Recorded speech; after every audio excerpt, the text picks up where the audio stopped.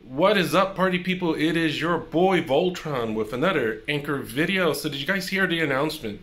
Ankr has partnered with Lympid. I think it's pronounced Lympid. It's either Lympid or Lympid. So, we'll just say Lympid for now. And for many of you guys, you might be saying, well, this is just another partnership. But when we look at how Lympid does things, it might be giving us a glimpse of how the world of DeFi is evolving. You know, if you go on their site, you can calculate how much money you could potentially make over a given amount of time. So they have calculators and they'll tell you, hey, the reason you're making a lot more is because using blockchain technology, we've gotten rid of a lot of the middlemen, a lot of the people that are trying to siphon your money away from you.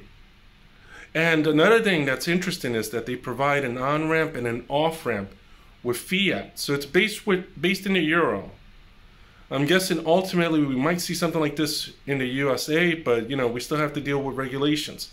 But we can already see it being used in the European Union where you have an on-ramp where you can go from fiat, from a euro to Ethereum, Ethereum backed to fiat, simple, in a, in a one spot, which is something lots of people have been asking for. So this this is good to see because we see that it, that's one component of DeFi lots of people have been wanting.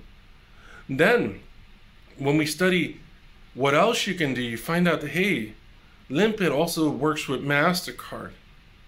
What does that mean? That means you can also use your crypto to buy anywhere Mastercard is accepted.